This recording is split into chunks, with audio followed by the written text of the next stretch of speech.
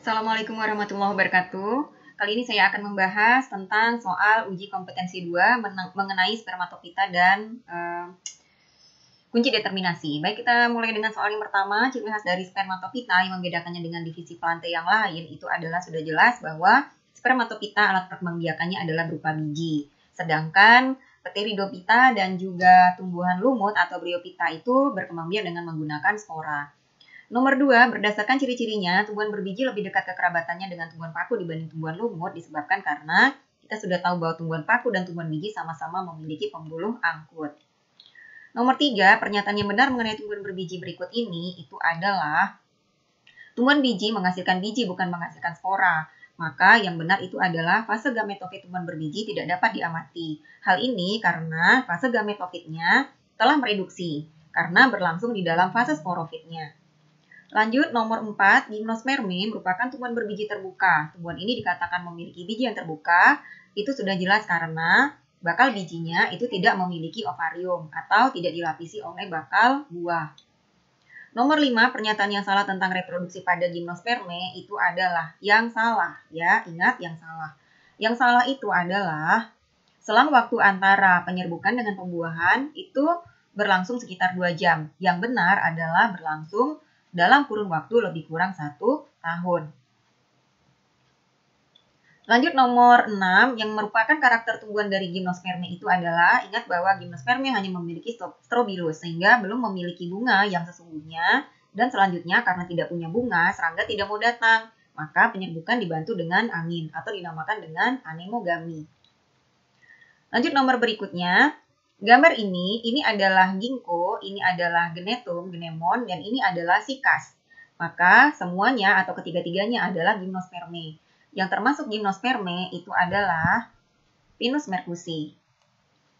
Paku air adalah tumbuhan paku, paku kawat adalah tumbuhan paku, kemudian tebu itu adalah angiosperme, kemudian kacang hijau adalah angiosperme.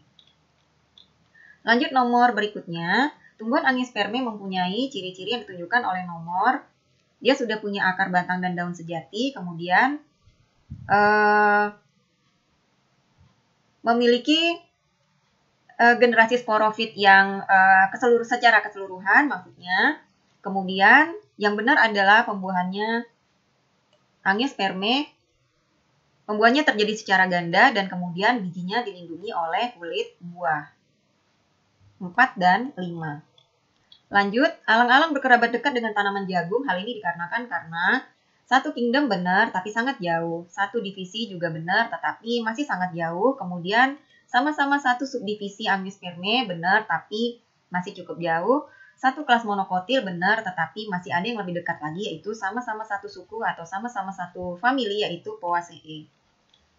Nomor 10 tumbuhan X ya, tumbuhan X meskipun tidak ada akar dan bunganya namun dapat diketahui dari tipe pertulangan daunnya yang menjari. Ingat bahwa yang memiliki tipe pertulangan daun menyirip dan menjari itu adalah dikotil. Jadi jawabannya adalah tergolong tumbuhan kelas Magnoliopsida atau tumbuhan uh, dengan kelas dikotil.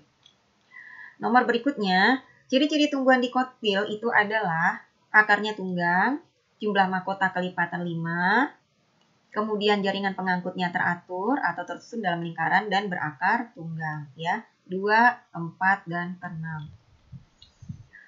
Lanjut, gambar di atas merupakan siklus hidup angiosperme, proses manakah yang ditunjukkan dengan angka yang terjadi pada fase gametofit. Fase gametofit adalah fase pembentukan gamet. Pembentukan gamet berlangsung di dalam e, bakal biji dan juga pada kepala sari. Dengan demikian, di dalam bakal biji ini terjadi e, pembentukan megaspora yang kemudian menghasilkan 8 inti di sini Kemudian di kepala sari berlangsung proses pembentukan gamet jantan, sehingga terbentuklah polen dengan dua inti. Maka jawabannya adalah nomor 1, 2, dan 3. Lanjut, bunga yang bersifat fertil ditunjukkan oleh nomor. Fertil itu artinya adalah yang berfungsi dalam perkembangbiakan. Perlu kalian ketahui bahwa kelopak dan mahkota tidak berfungsi dalam perkembangbiakan. Yang berfungsi dalam perkembangbiakan adalah putih dan juga benang sari. Dengan demikian, maka jawabannya itu adalah nomor 2, 4, 5, dan 6. 2, 4, 5, dan 6. Lanjut ya. Embrio yang terbentuk dalam proses perkembangbiakan pada fertilisasi ganda terjadi melalui peleburan itu antara embrio berasal dari zigot ya. Zigot adalah hasil perleburan antara inti generatif 1 yang nomor 2 dengan sel telur yang nomor 6. Dapat kita lihat pada video berikut ini. Kita bisa lihat inti generatif 1 yang ini membuahi sel telur sehingga terbentuklah zigot yang diploid. Inti generatif haploid sel telur haploid terbentuk zigot yang diploid. Yang ini adalah inti generatif 2. Ini adalah inti kutub yang diploid. Haploid ditambah dengan diploid jadinya triploid. Triploid itu adalah endosperm yang berfungsi sebagai cadangan makanan bagi embrio.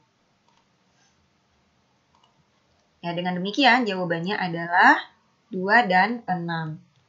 Lanjut lagi, sesuatu tumbuhan dengan ciri-ciri tumbuhan kayu, daun majemuk, mahkota bunga, serupa kupu-kupu. Maka itu sudah jelas ciri-ciri dari Papilionaceae, suku Papilionaceae. Lanjut nomor 16, tumbuhan yang berperan sebagai sumber bahan makanan berikut ini adalah sudah jelas Oryza sativa. Ini adalah padi. Pinus tidak dimakan, sikas tidak dimakan, bunga alamanda tidak dimakan, lumut juga tidak dimakan ya. Lanjut, Endosperm yang terbentuk dalam fertilisasi ganda, tadi videonya sudah saya tayangkan, hasil perburuan antara inti generatif 2 yang nomor 1 dengan inti kutub yang nomor 5. Hasilnya adalah endosperm yang triploid. Nomor 18. Berdasarkan kegiatan pengelompokan tumbuhan yang dilakukan, diperoleh data tumbuhan C dan tumbuhan D. Berdasarkan ciri-ciri tersebut dapat diketahui bahwa tumbuhan C dan tumbuhan D secara berurutan adalah maka kita harus tahu ciri-ciri tumbuhan C dan tumbuhan D ya. Baik, sekarang kita lihat ciri-ciri dari tumbuhan C. Tumbuhan C dapat kalian lihat di sini tulang daunnya menyirip, yaitu nomor 4B.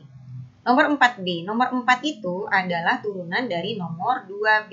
Ini adalah 2B memanggil nomor 4 ya. Dengan demikian ciri-cirinya tulang daun menyirip berumah 2. Kemudian nomor 2B ini nomor 2 adalah panggilan atau turunan dari nomor 1A. Ya, di sini ada nomor 2-nya. Maka ciri-cirinya berbiji terbuka, berumah 2 dan tulang daun menyirip. Sedangkan tumbuhan D, kita lihat ini adalah tumbuhan D. Tumbuhan D memiliki ciri-ciri berbatang lunak dan berair adalah nomor 5A. Nomor 5 adalah panggilan atau turunan dari nomor 3A. Kita lihat di sini nomor 3A memanggil nomor 5. Berarti ciri-cirinya batangnya lunak dan berair, tulang daunnya sejajar. Lalu nomor 3 adalah turunan atau panggilan dari nomor 1B.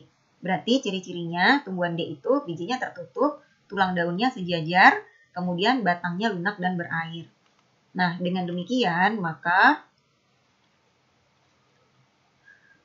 tumbuhan C itu tadi adalah Netemunemon dan tumbuhan D itu adalah Musa paradisiaca atau pisang. Kemudian nomor 19, endosperma merupakan makanan cadangan bagi embrio pada awal masa pertumbuhannya. Endosperma berasal dari hasil peleburan antara, tadi sudah jelas ya dengan videonya, maka berasal dari peleburan antara inti sel sperma 2 yang haploid dengan inti kandung lembaga sekunder yang diploid, sehingga terbentuklah endosperm yang triploid. Terakhir nomor 20, Venus mercusi merupakan tumbuhan spermatopita yang batangnya dapat dimanfaatkan sebagai, yaitu sebagai bahan baku pembuat kertas. Nah, Demikianlah pembahasan soal uji kompetensi 2 dari saya. Apabila ada hal-hal yang masih belum dipahami dan ingin ditanyakan, silakan kalian tulis di kolom komentar ataupun uh, tulis di dalam menu pesan. Terima kasih, selamat belajar, selamat mempersiapkan diri mengikuti ulangan harian dan juga ulangan semester. Assalamualaikum warahmatullahi wabarakatuh.